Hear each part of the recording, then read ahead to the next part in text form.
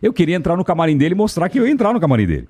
Deve ter sido 97, É, por aí. 96. É, 96, é 97, 97.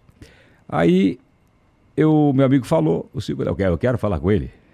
Eu, eu quero falar já ele. pode substituir de verdade o É, Silvio. mas já- é, mas é. Sabia que eu fui imitador do Silvio oficial na Jovem Pan, né?